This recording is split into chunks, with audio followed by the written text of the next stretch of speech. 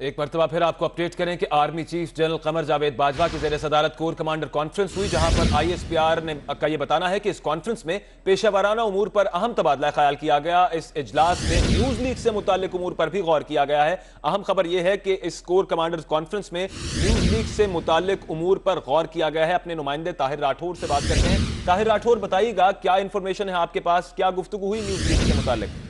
देखिए आज की जो कोर कमांडर कॉन्फ्रेंस थी, ये 200वीं कोर कमांडर कॉन्फ्रेंस थी और इस कॉन्फ्रेंस में आज एजेंडा खासा लंबा चौड़ा था, जिसमें सिक्योरिटी सूरत हाल ऑपरेशन रदुल फसाद, इसके अलावा जो अंग्रेज़ी अखबार की लीक है और नेशनल इलेक्शन प्लान और आइंदा जो 15 मार्च से जो मुल्क भर में सेंसस शुरू हो रहा है, मरदमशुमारी और खाना शुमारी हो रही है उस हवाले से तैयारियों का जायजा लिया गया और बिलखसूस जो आज डीजीएमओ पाकिस्तान और director general military operation Bharat के दरमियान जो बातचीत हुई उस पर भी इसके अलावा army chief general Qamar Javed Bajwa ने अपने दौरा कतर से मुतल और दौरा अबू जैबी से मुतलक तफसीलात से भी कोर कमांडर कॉन्फ्रेंस में जो है वो, कोर कमांडर कॉन्फ्रेंस को एतमाद में दिया। आज की कॉन्फ्रेंस में न्यूज़ लीक के हवाले से बिलखसूस गौर खोज किया और इस हवाले से कमीशन बना था, उसकी रिपोर्ट पर इस्तफसार कोर कमांडर्स ने किया कि उसकी रिपोर्ट का क्या हुआ, उस पर भी गौर वखौज किया गया। और वसी और बुनियाद जो कार्रवाइयाँ की जा रही हैं रदुल फसाद के हवाले से, उस पर भी गौर किया गया और रदुल फसाद के अब तक के हासिल जो अहदाफ हैं वो भी जेर बहस आज की कॉन्फ्रेंस में आए और आज की कॉन्फ्रेंस में आर्मी चीफ ने वाजह किया कि रदुल फसाद ऑपरेशन जो है, ये रंग और नस्ल और किसी फिरके की बुनियाद पर नहीं, बल्कि पाकिस्तान को महफूज बनाने के लिए दहशत गर्दों के खिलाफ रदुल फसाद ऑपरेशन किया जा रहा है और मुल्क से दहशत गर्दी का खात्मा करके ही दम लेंगे। ये कहना था आज के कोर कमांडर इजलास में army chief general Qamar Javed Bajwa का। ताहिर राठौर ये अपडेट कीजिएगा कि क्या इस मीटिंग में कोई कमीशन की जो रिपोर्ट के बारे में बात हुई कि कब तक इसको मंजरेआम पर लाया जाएगा, इसका कोई जवाब मिला वहाँ पर?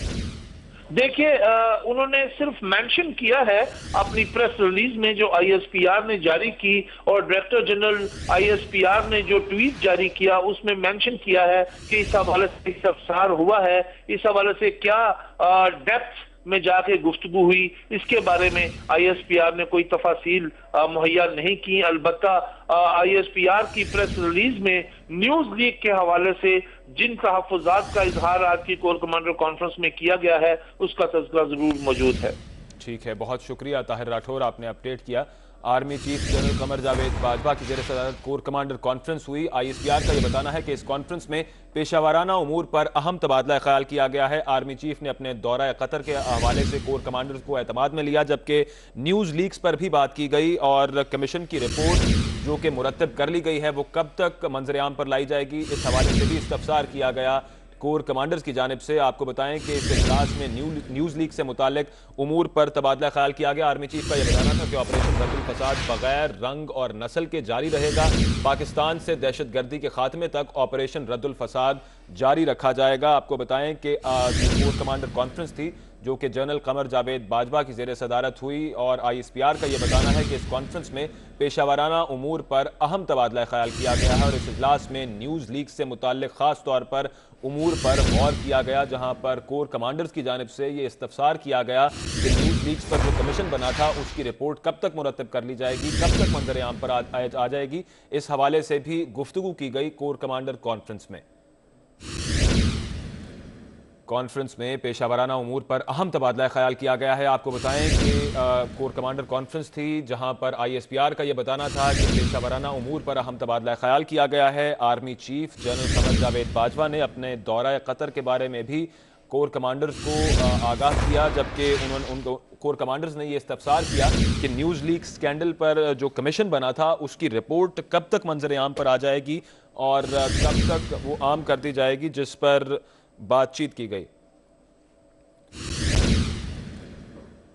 पाक, अफगान, सरहद और लाइन ऑफ़ कंट्रोल पर खिलाफ वर्जी के वाकत पर भी गौर किया गया है। इस कोर कमांडर कॉन्फ्रेंस में आपको बताएँ कि कोर कमांडर कॉन्फ्रेंस, जिसकी सरबराही की army chief general Qamar Javed Bajwa ने, और इस कॉन्फ्रेंस में अहम पेशा वाराना उमूर पर तबादला ख्याल किया गया। ख़ास तौर पर पाक, अफगान सरहद और लाइन ऑफ़ कंट्रोल पर जो खिलाफ वर्जियाँ की गई हैं लाइन ऑफ़ कंट्रोल की और पाक अफवान सरहद की, उस पर भी गुफ्तु की गई, जबकि इस इजलास में ख़ास तौर से न्यूज़ लीग से मुतक अहम अमूर जेर गौर आए और कोर कमांडर्स ने यह इस्तफसार भी किया इस कॉन्फ्रेंस के दौरान कि न्यूज़ लीक्स स्कैंडल पर बनाए गए कमीशन की रिपोर्ट कब तक मुकम्मल हो जाएगी, कब तक मुरतब कर ली जाएगी और कब तक मंजर आम पर आ जाएगी। आपको बताएँ कि इसके अलावा army chief general Qamar Javed Bajwa ने कॉन्फिडेंस में लिया, एतमाद में लिया, तमाम कोर कमांडर्स को अपने दौरा ख़तर के बारे से और ऑपरेशन रद्दुल फसाद के बारे में भी बात हुई, जहाँ आर्मी चीफ का ये कहना था कि बिला इम्तियाज़ रंगो नस्ल ये ऑपरेशन दहशत गर्दी के खात्मे तक जारी रहेगा। आपको बताएँ कि army chief general Qamar Javed Bajwa की जेर सदारत कोर कमांडर कॉन्फ्रेंस हुई और इस कॉन्फ्रेंस में पेशा वाराना उमूर पर अहम तबादला ख्याल किया गया है। ख़ास तौर से इस अजलास में न्यूज़ लीक्स जेर गौर आई और कोर कमांडर्स ने यह इस्तफसार किया कि न्यूज़ लीक स्कैंडल पर जो कमीशन बनाया गया था, वो अपनी रिपोर्ट कब तक मुरतब कर लेगा और ये रिपोर्ट कब तक मंजर आम पर आ जाएगी? उसके अलावा रद्दुल फसाद ऑपरेशन पर भी बात की गई।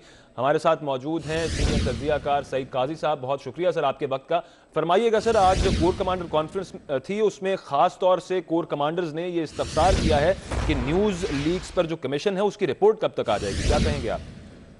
हाँ इस हवाले से हम देख रहे हैं कि हर जो हर सेक्टर में हर शोबे में एक इंतज़ार था एक आप जानते हैं कमीशन भी बना था। हालाँकि कमीशन के हवाले से जो अपोजिशन है उसने बहुत लय दे भी की थी।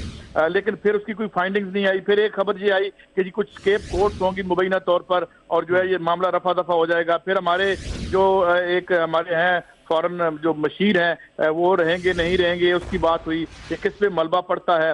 फिर हम आप ये भी जानते हैं कि ये सवाल जो इंटरनल मीटिंग्स हैं, उसमें भी डिस्कस होता रहा आर्मी की। खाड़ियाँ का भी एक हवाले से ज़िक्र आया और आप लोगों में एक एक बेचैनी यकीनन थी। तो मेरे ख्याल में अभी इस पे कोई चीज़ सामने नहीं आई, और यकीनन ये बहस हुई होगी। और ये चूँकि जब ये आया था इशू और जिस तरीके से इसे प्ले अप किया गया था तो ज़ाहिर है कि फौज के अंदर और फौज के बाहर लोग चाहते हैं कि इसका एक नतीजा निकले। अगर तो ये नहीं था कोई ऐसी सिक्योरिटी ब्रीच मगर उस वक्त तो कहा गया था कि ब्रीच है। ठीक है सईद काजी साहब आप हमारे साथ ही रहिए हमें ज्वाइन किया है lieutenant general retired Moinuddin Haider साहब ने। बहुत शुक्रिया जनरल साहब आपके वक्त का। फरमाइएगा आज कोर कमांडर कॉन्फ्रेंस थी जिसमें कोर कमांडर्स ने इस्तफसार किया है कि न्यूज़ लीक्स कमीशन की जो रिपोर्ट है कब तक मंजर आम पर आ जाएगी? काफ़ी दिलचस्पी दिखाई जा रही है। इशू जा नहीं रहा कहीं पे। क्या कहेंगे आप? जी हाँ देखिए, बात यह कि ये एक बहुत इम्पोर्टेंट और वाइटल इशू था, जिसमें एक मुख्तर अदारे को, एक अदारे को बदनाम करने की कोशिश की गई थी और जिससे पाकिस्तान की साल में रियासत की सालियत पर एक किस्म का हमला था ये, इस किस्म की बातें फैलाना। तो उस पर ज़ाहिर है कि इंक्वायरी की और कमीशन की रिक्वेस्ट की गई। और ऐसा कमीशन हुआ इंक्वायरी का कोई ना कोई रिज़ल्ट सामने आना चाहिए इसको ये तरीका ठीक नहीं है कि इसको आप डिले करते जाएँ या वो समझे कि ये मसला चला जाएगा, ये ये तरीका ठीक नहीं है।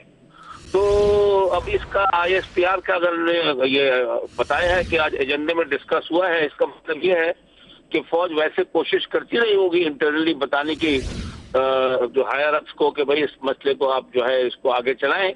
और जब वहाँ से कोई पेशरफ नहीं है तो फिर डिस्कशन के बाद इसको आईएसपीआर ने इसके ऊपर रिलीज़ दी होगी।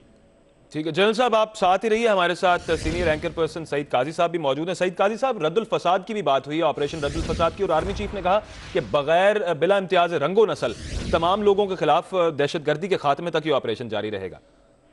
ये तो एक कंटिन्यूएशन है हमारी पॉलिसी की और इससे पहले जरबे जो हो रहा था वो भी यहाँ और हम आप जानते भी हैं कि हम पीछे एकदम से एक स्त्री थी जो अटैक की, उसके बाद ज़ाहिर है कि एक फिर अजम का इजहार किया गया है। और ये तो सिलसिला जारी रहेगा जब तक और हम एक लंबे और तवील अरसे के लिए ज़ाहिर है कि इस जंग में अब हम मुबतला हो चुके हैं। जो भी उसकी वजह रही हो, जो जो भी हमारी ब्लंडर्स रहे हैं और सिक्योरिटी और फॉरन पॉलिसी के लेवल पर माजी में उससे बात करना तो अब नहीं है मगर अब हमें ये दरपेश तो है।